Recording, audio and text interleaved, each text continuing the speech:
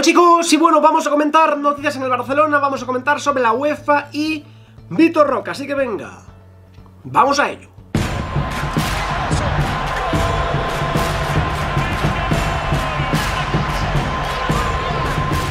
Bien, pues quiero pediros que si todavía no estáis suscritos a este canal, que os suscribáis, a qué esperáis, sé que hay mucha gente que ve mis vídeos, pero que no está suscrita. La pregunta es, ¿por qué? Si no os suscribís, no vais a hacer el amor en 5 años, y ya está. Vamos con la UEFA, porque atención lo que dicen, eh, la UEFA va a ser implacable y busca un proceso rápido en la posible sanción del Barcelona por el caso Negreira. Ojo. Dentro de poco va a haber una asamblea, otra vez, donde Ceferín volverá a ser elegido.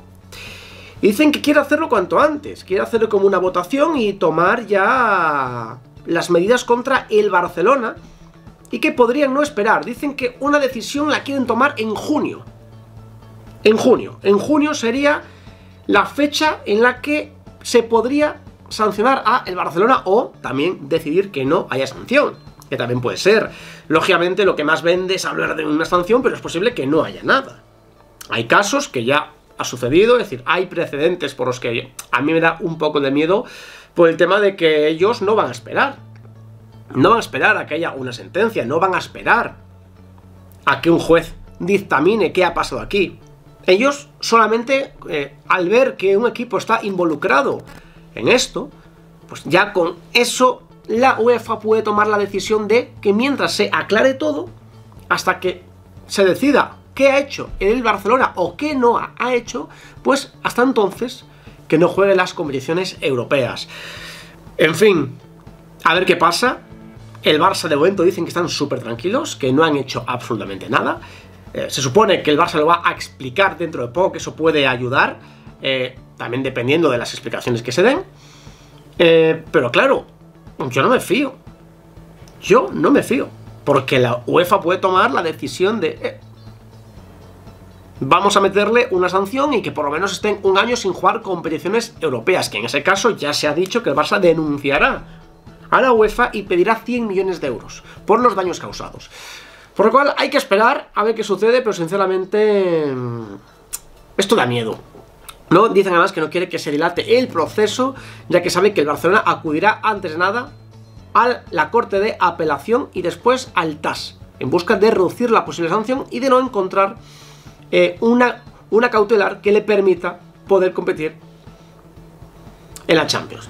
Es decir, ellos saben que si sancionan al Barcelona, el Barça acudirá a la Corte de Apelación y después al TAS.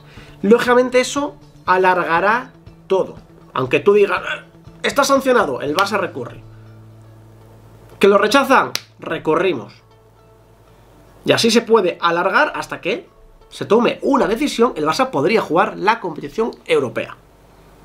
Entonces hay que esperar a ver qué sucede. Y además el Barça puede acudir, pues otra vez, a la justicia ordinaria a que nos dé una cautelar. Por eso, como saben que es un proceso, la UEFA quiere hacerlo cuanto antes. La UEFA quiere hacerlo cuanto antes. A ver qué sucede, si lo consiguen o si no lo consiguen. Lógicamente espero que no y creo que no.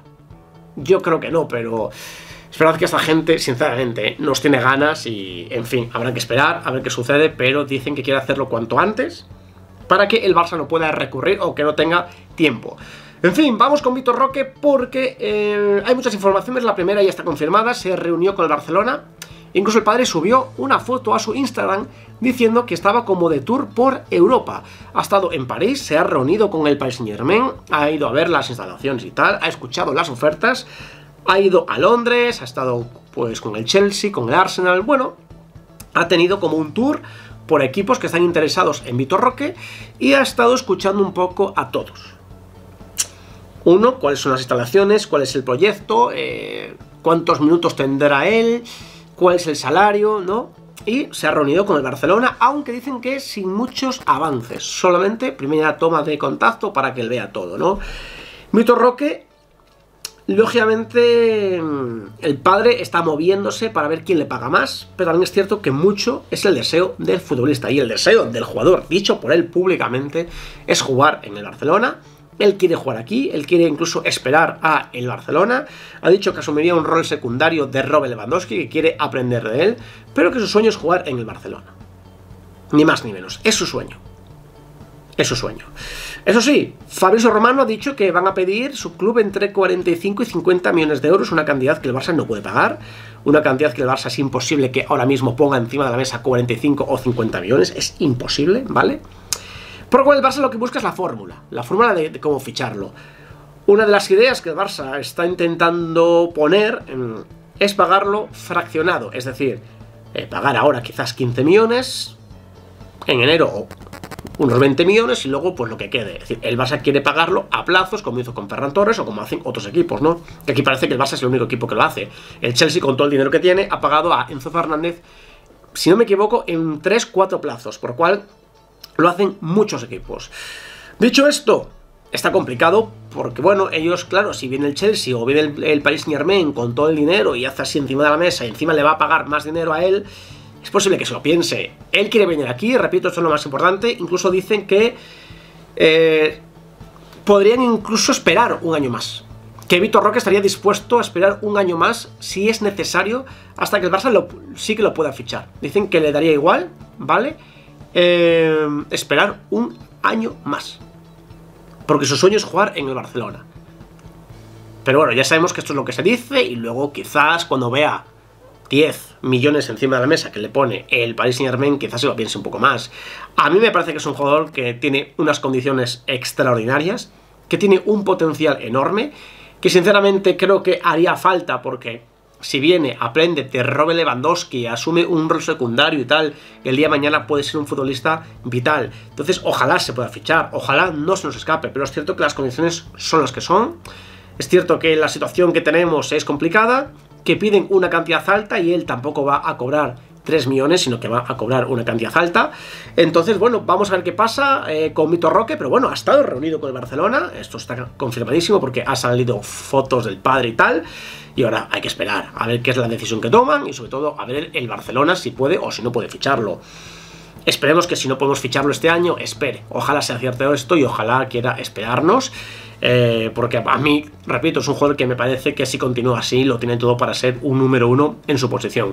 Así que, en fin, hasta aquí estas noticias. La UEFA no quiere esperar, la UEFA quiere sancionar cuanto antes al Barcelona, la UEFA quiere que el Barça no tenga tiempo para poder recurrir absolutamente nada y dejarnos en la Champions.